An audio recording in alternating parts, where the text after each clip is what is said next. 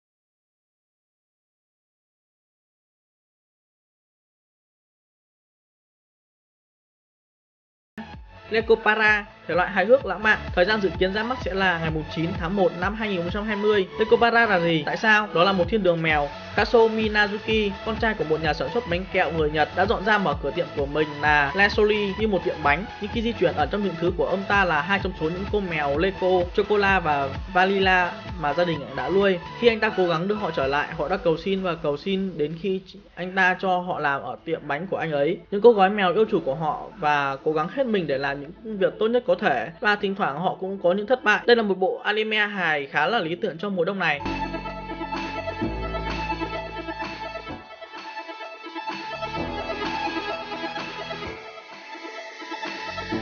Bộ anime thứ tư, Toaru Kagaku Low Raigan để lại hành động khoa học viễn tưởng siêu nhiên, thời gian dự kiến ra mắt sẽ là mùng 10 tháng 1 năm 2020. Cốt truyện là lấy bối cảnh giống như Toaru Mayusu Low Index, những xoay quanh nhân vật nữ Misaka Mikoto, một trong các nhân vật chính và là bạn của Kamiyo Toma. Cô là một trong 7 người có năng lực mạnh nhất trong thành phố với khả năng sử dụng điện, cho thấy một góc nhìn khác của một nhân vật về thế giới chung mà của hai tác phẩm. Tác phẩm chủ yếu đào sâu vào sự việc liên quan đến các sister, nhân bản và level upper.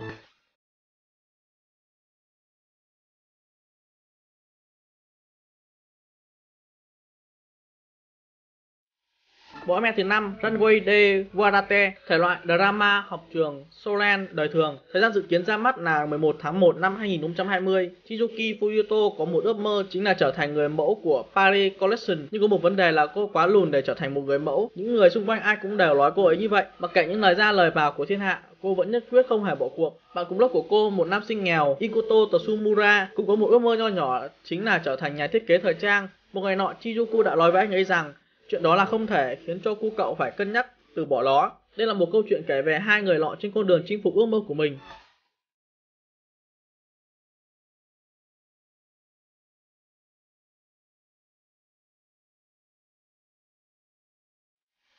Bộ anime thứ 6, Murenashi Seton Gakuren Thể loại hài hước học trường, thời gian dự kiến ra mắt là ngày 7 tháng 1 năm 2020. Bộ phim dựa trên một bộ truyện tranh diễn ra tại một ngôi trường dành cho động vật. Ở nơi đây các học sinh được giảng dạy chung về các vấn đề cách sinh tồn của kẻ mạnh nhất Jin Mazama, một nam sinh ghét động vật trong lớp học và một cô bé sói đã vô tình gặp nhau và cuộc sống học đường vô nghĩa của họ đã bắt đầu từ đây.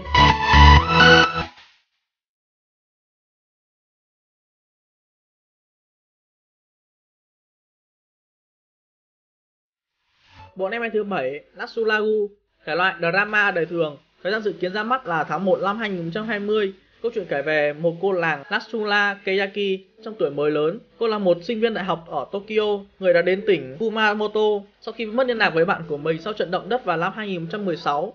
Ở đó, cô đã gặp được những nhân vật mới với nhiều màu sắc cá tính, chẳng hạn như nữ sinh Izumi, người đã thắp sáng niềm đam mê trong Natsula. Bộ anime thứ 8, Go to Pon Low Season 2, thể loại hài hước Harlem, lãng mạn, trường học, Solen. Thời gian dự kiến ra mắt sẽ vào tháng 1 năm 2020. Kotupun Lo Harayome là câu chuyện kể về một hot boy nhà nghèo mang tên Futaro Usugi và đang học năm 2 ở cao trung. Để trang trải cho cuộc sống, cậu quyết định làm gia sư cho một gia đình nhà giàu. Tuy nhiên, người mà cậu dạy lại chính là bạn học của mình. Và đó là con gái, không những chỉ là một mà là đến 5 người con gái. Nhiệm vụ đầu tiên của cậu là phải dạy dỗ lại tất cả những cô làng này. Mỗi ngày là một sự kiện. Những anh chàng này phải làm như thế nào đây? Hãy cùng đón xem bộ anime này nhé.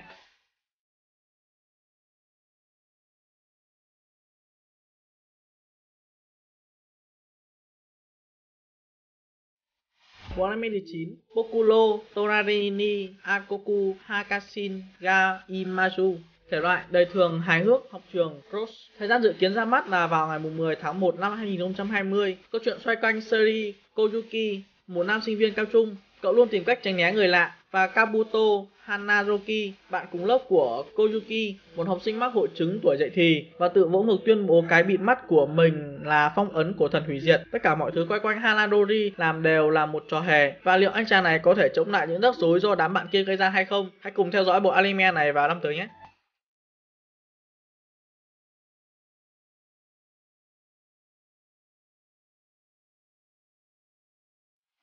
Bộ anime thứ 10 Ikei ga Koili Ochita Lode Sumi Shitami Ta thể loại hài hước lãng mạn. Thời gian dự kiến ra mắt vào 11 tháng 1 năm 2020.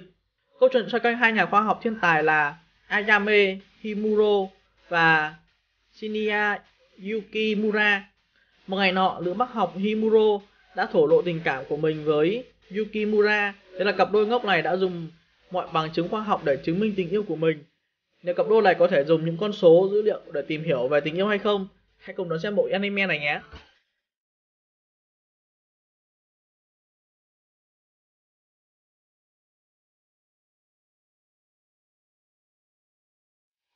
Bộ anime thứ 11 Darwin Game, thể loại hành động bí ẩn shonen. Thời gian dự kiến ra mắt vào ngày 4 tháng 1 năm 2020. Bộ phim xoay quanh Kalame Suro, một học sinh cao trung người đã bị hút hồn vào một trò chơi bí ẩn tên là trò chơi Darwin.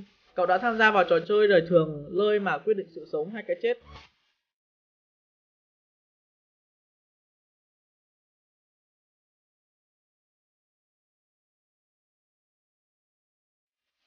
Bộ anime thứ 12 Koshuru Asteros thể loại đời thường hài hước trường học. Thời gian dự kiến ra mắt sẽ vào ngày 3 tháng 1 năm 2020. Manga xoay quanh Mirai, cô gái luôn ước mơ được tham gia vào câu lạc bộ thiên văn khi mới bước vào cao trung sau khi gặp một cậu bạn và hứa sẽ khám phá các tiểu hành tinh khi cô mới còn nhỏ. Nhưng khi cô vào học, câu lạc bộ thiên văn đã bị xóa sổ vào một năm trước đây và bây giờ nó đã bị gộp vào chung với câu lạc bộ khoa học địa cầu.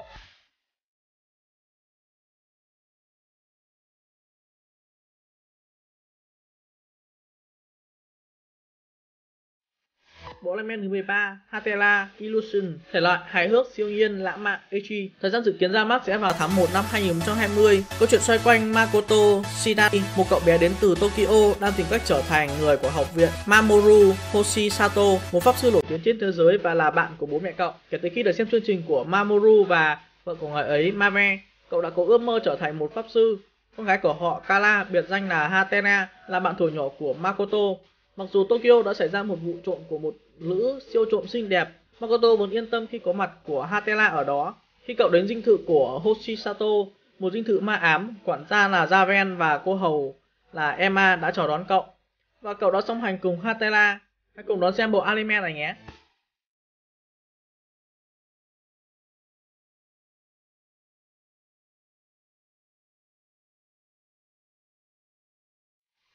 Trên đây là 13 bộ anime sẽ góp mặt trong sự thành công của mùa đông 2020 này mà mình muốn gửi đến các bạn. Hẹn gặp lại các bạn ở phần 2 vào một ngày không xa. Và video của mình đến đây hết rồi, nếu mình vô tình bỏ quên cái tên anime nào thì các bạn hãy để lại bình luận cho bí ẩn anime nhé.